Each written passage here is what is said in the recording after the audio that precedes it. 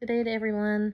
All right, so this morning what we're going to do is I'm going to show you some clips from my um, beginner's line dancing class. And my plan is to walk through the uh, steps to each song and then give you a, a, demo of those steps as well as uh, some snippets of the, uh, the class doing um, a few segments of the song that we're going to do. I'll announce which song it is at the beginning of each video and we'll give you some uh, some teach steps and then I'll show you some clips of um, me and the class doing some of those steps to the song.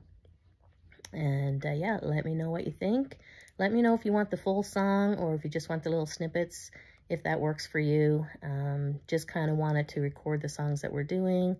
And as a reminder for um, beginners to learn the steps, learn the, uh, the patterns, and eventually you'll get the song and uh, it'll be a lot of fun. So that's kind of what my plan is. Let me know what you think.